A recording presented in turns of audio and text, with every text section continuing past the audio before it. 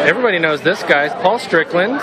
He's a talented story spinner Okay. and uh, string plucker, right?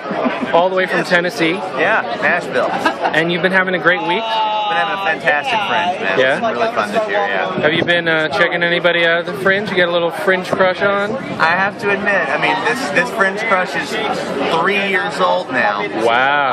Uh, yeah, but my Fringe crush is Mandy Hootery Yeah? from the Fabulous Problemas.